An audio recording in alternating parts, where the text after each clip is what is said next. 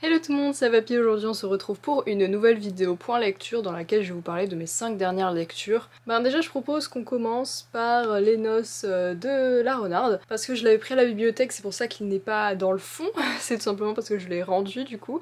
D'ailleurs j'avais dû un petit peu le rusher parce que euh, bah, je devais le rendre genre dans 3 jours, donc en fait j'avais 3 jours pour le lire, sachant qu'il fait quand même euh, plus de 500 pages, donc c'était quand même une épreuve en vrai, mais j'ai beaucoup aimé. Donc au niveau de l'histoire, il y a deux temporalités dans l'histoire, déjà ça se passe au Japon. Donc dans le Japon un peu médiéval on va dire, je sais pas trop, dans les années 1400 quoi, on suit une sorte de bande de kitsune quoi qui vivent dans la forêt. Et en fait depuis récemment il y a un camp d'hommes qui s'est établi proche de la forêt euh, parce qu'ils ont besoin de travailler dans la forêt. Et du coup bah ça plaît pas trop kitsune mais il y en a une qui s'appelle Hikari je crois et qui est très attirée par ces hommes et euh, qui va souvent, euh, enfin qui descend un peu la lisière pour les observer. Et les autres kitsune la voient pas d'un très bon oeil mais bon ils se disent que bah qu'elle fait rien, bah tout va bien et puis euh, voilà, tant pis, au pire elle est juste curieuse. Sauf que, ben évidemment, tout ne va pas aussi bien se passer puisque elle va finalement rentrer en contact avec un homme et ça va euh, pas forcément bien se passer au cours d'une cérémonie de noces euh, d'une kitsune et elle va le voir et en fait elle va pas le tuer alors que normalement tous les hommes qui voient la cérémonie doivent mourir. Voilà, c'est la règle, les kitsune sont enfin des règles vraiment assez cruelles et c'est des créatures qui sont vraiment sanguinaires, enfin voilà. Et sauf que Hikari, bah elle a pas du tout envie de tuer cet homme parce que bah, déjà que les hommes la fascinaient, alors là bah, c'est encore pire puisqu'elle a été en contact avec, et sauf qu'elle va être évidemment punie pour ça. Et dans le présent on suit une fille qui s'appelle Mina et donc elle elle se sent vraiment différente des autres personnes puisque elle voit les yokai, les oni, enfin elle voit les, des esprits japonais en fait. Et elle vit ça vraiment comme une malédiction parce qu'elle les voit partout et elle fait en sorte de les ignorer complètement sauf que ben du coup elle est un peu genre c'est un peu une bully quoi. Genre elle se fait euh, harceler à l'école et tout. Et les gens même l'ignorent souvent parce que bah ils la trouvent bizarre. Et elle va remarquer à un moment qu'une camarade de classe a un esprit au-dessus d'elle et que cette camarade va de plus en plus mal. Et d'un côté dans sa classe il y a aussi une fille qui s'appelle Natsume et qui est euh, la déléguée. Et en fait, ses parents, enfin son exorciste, elle vient d'une grande lignée d'exorcistes et du coup, elle va se lier d'amitié, on va dire, avec Mina parce qu'elle va lui faire découvrir tout un monde qu'elle ne connaît pas, un monde de yokai qu'en fait le commun des mortels ne peut pas voir, mais que elle oui, puisque bah elle peut voir ces endroits-là où il n'y a que des yokai, mais Natsume ne peut pas. Et en fait, elle vit très mal le fait que euh, bah elle soit dans une famille d'exorcistes, mais qu'elle ne voit pas les yokai et les esprits ni rien. Donc, bah du coup, le but pour Mina, c'est de lui apprendre à voir les esprits. Et pour Mina, son but, bah, c'est un peu de comprendre pourquoi elle est différente, pourquoi elle, voit les esprits alors que les autres ne le voient pas. Donc voilà, et en fait, évidemment, les deux temporalités vont finir par se croiser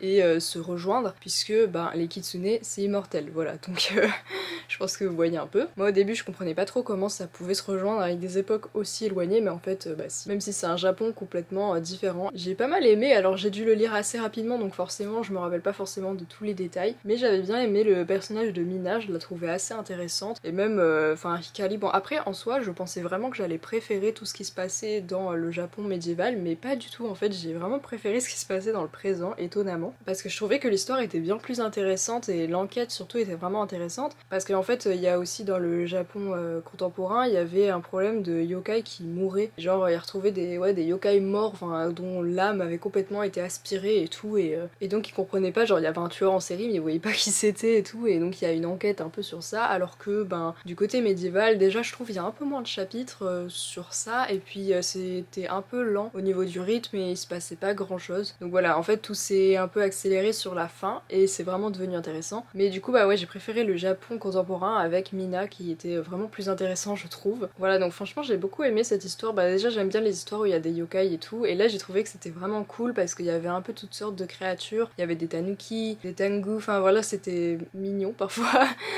Enfin moi j'aimais bien avoir toutes ces créatures. Et les deux temporalités qui se rejoignent à la fin, j'ai beaucoup aimé aussi euh, bah, le lien qui s'est créé entre ça. Ensuite, j'ai lu de Valkyrie de Kate Hartfield. Alors j'ai l'impression que j'en ai déjà parlé mais j'en ai sûrement déjà un peu parlé en vlog. Sauf que je sais que pas tout le monde regarde les vlogs donc je me dis bah voilà. Enfin il faut bien présenter tous les livres. Et donc du coup celui-là je l'ai acheté en Irlande vraiment en random. Je savais pas du tout euh, qu'est-ce que j'achetais. Enfin j'avais lu vite fait le résumé mais sans plus. Et c'est juste la couverture que je trouvais trop belle. Et puis Valkyrie voilà je sais pas ça m'a tiré je me suis dit que j'avais envie d'en savoir plus parce qu'apparemment c'est assez proche euh, de la mythologie. Et euh, j'aime bien cette mythologie nordique. Donc en fait on va suivre deux personnages qui racontent leur histoire. Donc la première personnage c'est une Valkyrie justement, qui s'appelle Brynhild, et en fait elle a été bannie par Odin, donc elle a été exilée on va dire, et elle va se retrouver à Midgard, donc euh, au début elle était donc dans le Valhalla, donc parce que les Valkyries c'est des femmes euh, qui doivent euh, combattre, en fait c'est des créatures de la guerre on va dire, et elle a été exilée à Midgard, donc en fait dans le Valhalla, elles sont normalement immortelles, mais sauf qu'à Midgard, bah, elle commence à. Enfin, elle, subit, comme tout le monde, la vieillesse, etc. Enfin bref, donc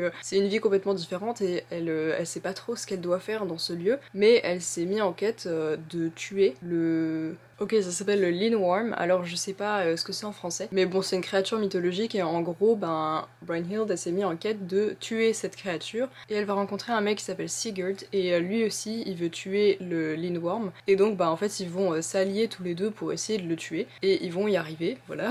Et du coup, ils vont bah, pas mal se lier d'amitié et tout, mais bon, évidemment, ça va pas se passer comme ça. Et en fait, voilà, elle raconte son histoire par rapport à sa quête. Et bah, le fait qu'elle soit bannie et qu'elle sait pas trop ce qu'elle doit faire en fait. Et qu'elle se sent vraiment abandonnée par Odin. Et de l'autre côté, on suit une princesse qui s'appelle Gudrun. Je sais pas du tout si ça se prononce comme ça, mais en tout cas, ça s'écrit comme ça. Donc en fait, Gudrun, pour, euh, euh, sa famille, elle doit se sacrifier, enfin en mode se sacrifier, qu'elle doit se marier avec un autre euh, prince ou un roi, je sais même plus, mais d'un comté d'à côté quoi. Sauf que ben ce prince ou roi, je sais plus trop, se fait assassiner sous ses yeux à cause de Attila qui était son grand frère, il me semble, et c'était complètement prémédité et tout. Donc bah au final, bah elle peut peut pas l'épouser donc au final, ça va faire pas mal de, de guerres euh, entre eux parce que bah, c'était censé être le deal entre eux pour garder la paix. Mais en fait, ça a pas été honoré. Donc du coup, bah, ça cause problème. Sachant que justement, à ce moment-là, le bah, Attila et euh, son peuple, ils ont passé un pacte avec le Linworm, justement, qui est venu pour euh, bah, un peu buter tout le monde, quoi.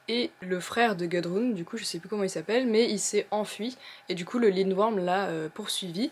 Et donc, bah, son frère a disparu. Donc, elle va devoir composer sans lui et devenir bah, vraiment une princesse et genre euh, bah, le peuple attend tout d'elle alors que elle bah, elle s'attendait pas du tout à ça et elle sait même pas si son frère est vivant et tout et en fait du coup la Valkyrie et la princesse se racontent mutuellement leurs histoires qui vont bah, se rejoindre évidemment puisque le Linworm a tué une partie de son peuple et à côté la Valkyrie veut tuer cette créature mais euh, bah, la, princesse, enfin Gudrun n'est pas au courant euh, que la créature est morte, enfin voilà. Donc du coup euh, les deux personnages vont finir par se rejoindre et donc bah, c'est de la romance. Hein. Au début on pense qu'il y a une romance avec deux personnages mais en fait ça, va pas être ça, ça va changer. Il y a un peu des trucs de mariage arrangé et tout évidemment pour garder la paix mais au final ça va pas, enfin voilà c'est pas forcément important. Mais du coup, genre j'ai pas forcément grand chose à dire.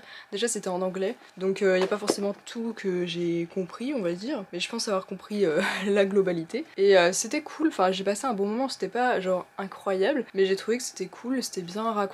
Et j'ai bien aimé la fin aussi parce qu'en fait au début, enfin je, je, le voyais un peu venir, mais quand j'ai acheté le livre, je m'attendais pas à ça en fait.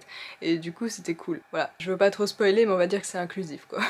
donc voilà, je sais pas comment le recommander plus que ça, bah en plus il est pas sorti en français, enfin il est sorti en mars 2023 donc il est hyper récent, je sais pas s'il va être traduit mais bon j'imagine quand même. Enfin je sais pas. Mais voilà en tout cas c'était cool, c'était un bon moment, enfin ça faisait 300 euh, pages. Donc j'ai mis plus de temps à lire qu'un livre normal on va dire, enfin un livre en français. Mais c'était sympa et j'aimais bien me replonger dans, dans, leur histoire même si c'était un peu lent, enfin parfois c'était juste un peu genre euh, contemplatif et tout, enfin genre mais je savais que quand je me plongeais dedans j'avais passé un bon moment quoi. Ensuite on a ici et seulement ici de Christelle Dabos. Alors celui-là, mais au début je voulais précommander, puis finalement, euh, vu que j'allais pas être là pendant sa sortie, bah je l'ai acheté après. Mais euh, je suis trop contente, enfin je l'ai déjà lu, du coup, genre j'ai pas vraiment beaucoup attendu. Donc il est pas si long que ça. Hein. Donc évidemment, si vous attendez à revoir quelque chose comme La Passe Miroir, c'est pas du tout la même chose. Moi je savais que ça allait pas du tout être la même chose, puisque bah elle l'avait dit. Et mais de toute façon, je cherchais pas forcément à revoir un truc comme La Passe Miroir, parce qu'en fait, moi ce que j'adore chez Christelle Dabos, c'est que je trouve qu'elle sait tellement bien choisir ses mots et qu'elle crée elle-même des expressions qui, enfin, qui me restent en tête en fait et que je trouve génial. Et euh, je sais pas, genre elle a trop un don pour ça. Et du coup, donc ici et seulement ici, en fait, ça se passe au collège et on va suivre quatre personnages qui ont tous des grades un peu différents parce qu'en fait, ici et seulement ici, donc ça parle du collège, genre c'est le collège en lui-même et toutes les règles un peu euh, tacites et implicites, on va dire, que, qui sont au collège. Donc c'est-à-dire que t'as des personnes qui font partie des hauts et des bas. Les hauts, bah, c'est les gens populaires, les bas en général, c'est les gens qui sont harcelés. Et puis euh, t'as aussi les impairs, donc les impairs, c'est ceux, bah, c'est les bas qui sont vraiment euh, plus bas, on va dire, et qui ont une table où ils sont tout seuls. Genre t'as une classe de 37, bah t'en as un qui est tout seul au fond de la classe, bah c'est un impair. Voilà, donc t'as que des, des noms comme ça, des expressions que je trouvais vraiment cool. Et en fait c'est vraiment le, collège et toutes les règles qu'on y trouve. Et on sait pas trop pourquoi elles existent mais elles existent. Et en fait tu dois les respecter sinon tu te retrouves euh, bah, en bas.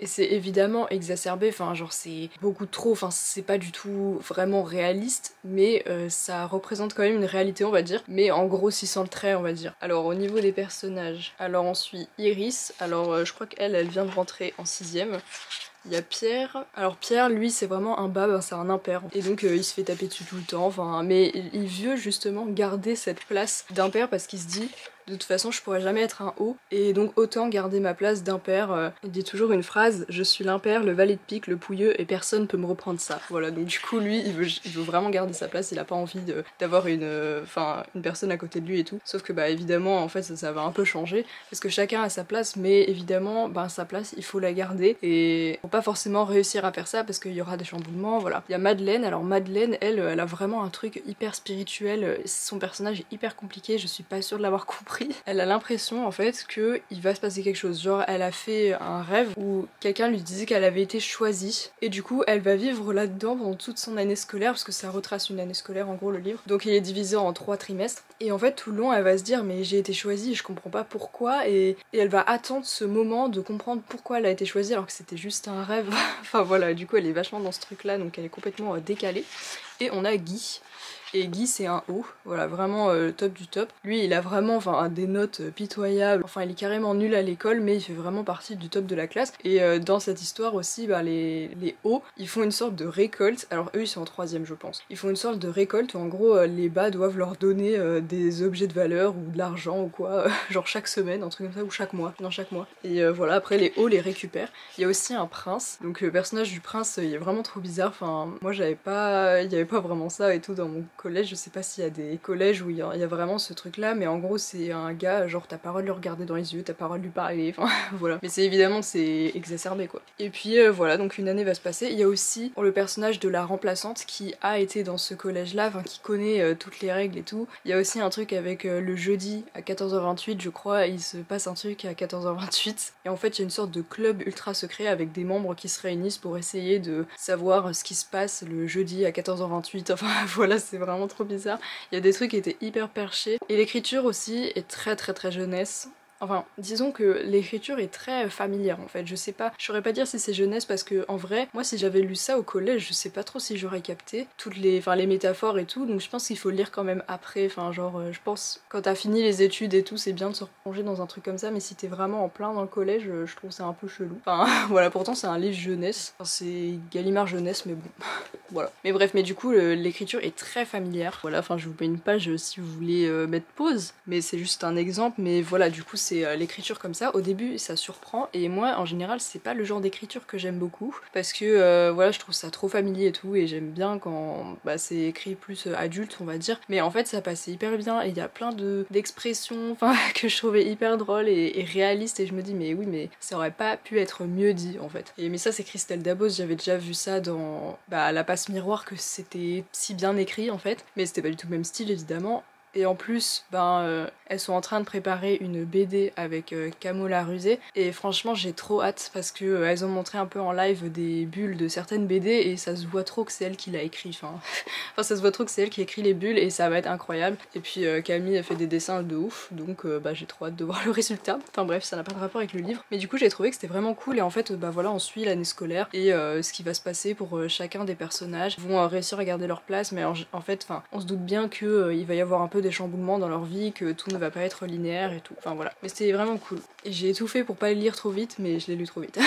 je le relirai peut-être une autre fois. Parce qu'en fait, il y a beaucoup de métaphores aussi. Chaque personnage euh, vraiment représente quelque chose et qu'on a tous vécu finalement. Et du coup, euh, à la fin, bah, ils ont tous euh, une fin propre à eux avec à chaque fois une. Enfin, pas une morale, mais voilà, enfin, une fin d'histoire qui a un sens, on va dire. Ensuite, j'ai lu Alix 18 de Kamel Benahouda. Alors c'est marrant parce que c'est le, le, prof de philo, je crois, ou de lettres, enfin je sais plus, mais c'est un prof d'une de, mes abonnées, enfin qui m'avait contacté sur, euh, sur Insta pour me le dire. Donc bah stylé, voilà, je, je savais pas, mais voilà, donc le, la personne qui a écrit euh, ce livre est prof. voilà, je sais pas si c'est important comme information. Mais celui-là, je l'avais vu sur la chaîne du Souffle des mots, et c'est une dystopie, donc ça m'avait direct donné envie. Et en fait, c'est une, une, histoire où euh, il y a la guerre, genre depuis 60 ans et tout, et en fait, bah, le gouvernement a décidé de créer des, des hommes, enfin en fait ils ont fait une sorte de récolte de bébés. Et ils leur ont modifié euh, les hormones, enfin ils ont fait des modifications génétiques pour qu'ils ressentent aucune émotion. Et que ce soit de parfaits petits soldats qui euh, respectent leurs devoirs, enfin qui font ce qu'ils doivent faire, genre ils sont nés pour la guerre, ils doivent mourir pour la guerre, c'est leur euh, slogan on va dire. ils sont faits pour ça en fait, donc eux ils ont pas pour autre but que de faire la guerre, donc c'est des personnes qui ont, enfin c'est des, ouais, des personnes qui ont pas peur, qui voilà, qui ressentent rien, donc en fait sur un champ de bataille ils sont parfaits parce qu'ils savent ce qu'ils doivent faire et ils vont le faire, et bon après t'avais des vrais militaires du coup qui sont servis de bouclier humain, mais bon bref, de toute façon leur, justement leur fierté c'est de mourir à la guerre parce qu'ils sauront qu'ils ont été utiles, voilà. Donc ça c'est bah, les personnages, donc LX c'est le nom de, la, de leur brigade je crois, enfin de leur unité plutôt, et donc c'est le 18ème de son unité, sauf que bah, au début du bouquin, on apprend que la guerre est terminée, donc euh, la paix a été signée et tout. Donc, bah en fait, c'est. Je sais pas comment dire ça, c'est personnes, enfin oui, c'est des personnes, mais du coup, euh, pas vraiment humains, enfin.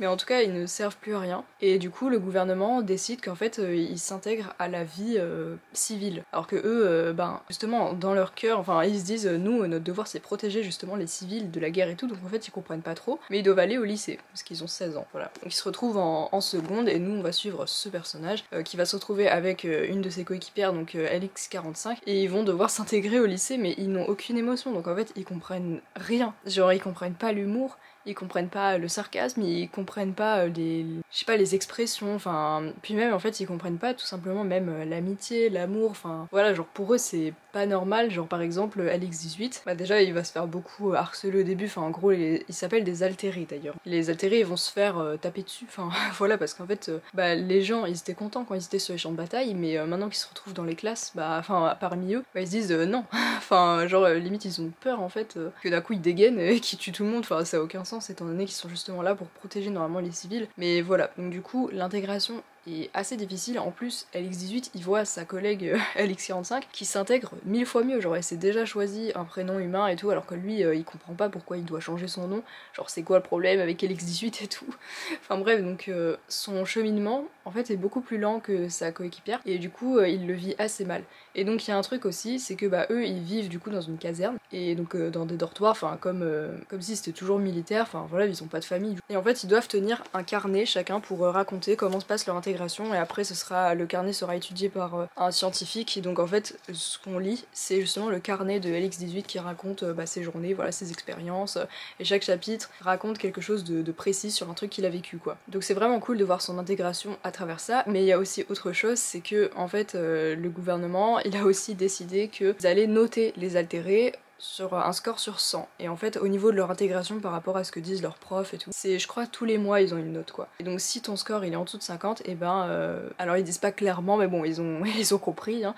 En fait, ils se font incinérer. Voilà. Donc en gros, euh, ils meurent si euh, arrivent pas à s'intégrer. Et du coup, lui, il frôle à chaque fois la limite de la non-intégration parce que bah il galère. Mais au final, bah il arrive à s'en sortir à chaque fois, genre à 50 points, 51 points. Et puis, bah petit à petit, en fait, il y a une fille dans sa classe qui s'appelle Philomène et bah elle, elle déteste les altérés aussi, mais le prof de français va les mettre ensemble pour un projet de théâtre, parce que Philomène, elle veut justement rentrer dans une école de théâtre, donc euh, elle se, enfin, il se dit, ça pourrait t'aider à, comprendre mieux euh, peut-être les humains. Et donc Philomène va lui recommander plein de lectures, notamment Bérénice qui est la pièce qu'ils doivent jouer. Et, euh, lui il comprend pas Bérénice parce que en gros l'histoire c'est, alors je sais plus le détail, hein, mais c'est un mec qui doit choisir entre épouser une femme mais qu'il a pas forcément le droit d'épouser je crois, ou alors accomplir son devoir et sauver son peuple. Voilà je crois c'est un peu ça. Du coup Alex 18 il est en mode mais enfin genre il y a pas de question qui se pose en fait, tu vas sauver ton peuple, c'est ton devoir et basta tu vois. Enfin voilà, mais au fur et à mesure évidemment il va commencer à développer des émotions. Voilà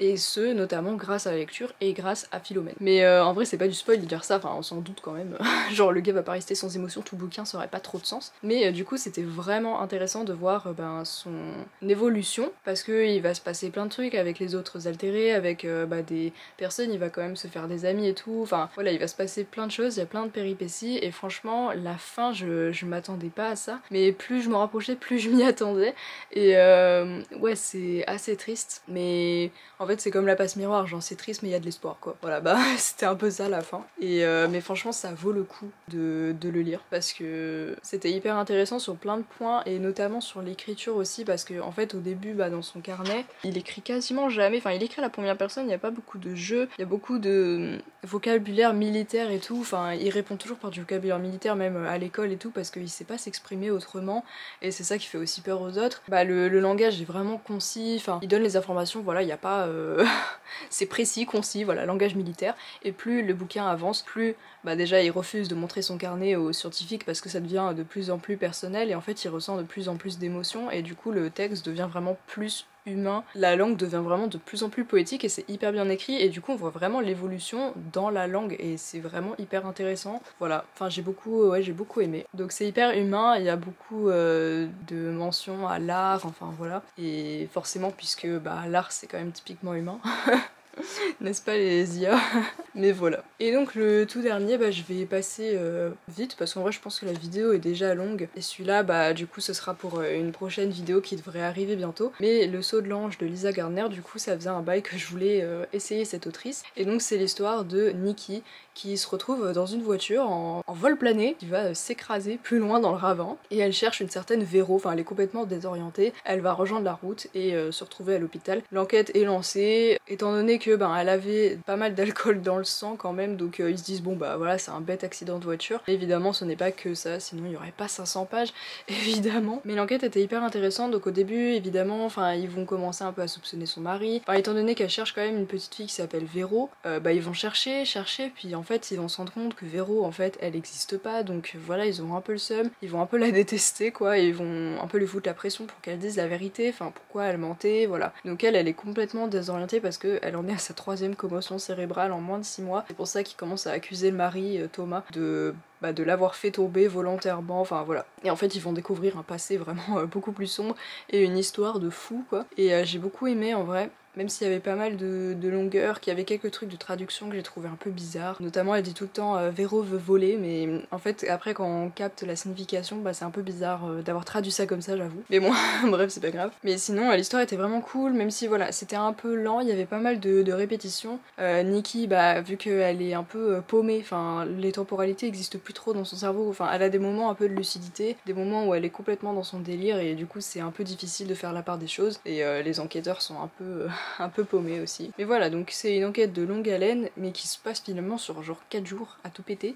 Euh, et, c'est tellement, enfin assez long, donc on a l'impression que ça dure genre 2 mois, mais en fait pas du tout. Enfin, ça se passe juste en quelques jours tout ça. Et voilà, donc euh, ils vont découvrir plein de secrets, de trucs qui ont été enfouis euh, par sa mémoire évidemment, parce que bah, elle est traumatisée de plein de trucs. Donc c'était hyper psychologique, j'ai beaucoup aimé en fait. Enfin, c'était pas un coup de cœur non plus, mais j'ai trouvé que c'était assez intéressant et que ça changeait de tous les trailers que j'avais lus jusqu'à maintenant en fait, qui étaient souvent bah, de Franck Tillier, qui sont souvent liés pas mal à la religion, enfin à des trucs comme ça. Et euh, enfin en vrai c'est hyper intéressant dans les deux cas, hein, mais voilà là c'était complètement différent de, ce que j'avais lu jusqu'à maintenant, donc c'est ça que j'ai beaucoup aimé. Voilà du coup pour euh, ce point lecture, j'espère que ça vous les a plu et que c'était pas forcément trop long, je ne sais pas, mais je pense que j'ai au moins 25 minutes. Du coup là je suis en train de préparer euh, trois vlogs, donc voilà, mais ce sera, en fait c'est des vlogs qui ont un sujet précis et un non, voilà.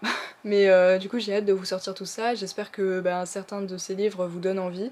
Vraiment celui-là, euh, j'ai regardé une vidéo de Piketty Booking qui disait qu'elle avait pas du tout aimé en papier, mais qu'elle avait écouté l'audiobook et qu'elle avait beaucoup plus aimé. Donc euh, peut-être si euh, vous bloquez sur euh, la version écrite, bah peut-être euh, essayer l'audiobook parce que franchement je trouve qu'il vaut le coup quand même. Enfin il était vraiment hyper intéressant et drôle en vrai, enfin Christelle Dabos quoi. Donc c'est tout pour cette vidéo, n'oubliez pas de vous abonner à la chaîne, de laisser des petits commentaires, euh, dites-moi ce que vous êtes en train de lire en ce moment ou si un de ces livres là vous a donné envie. Et puis bah nous on se retrouve samedi prochain 14h pour une nouvelle vidéo. Bye tout le monde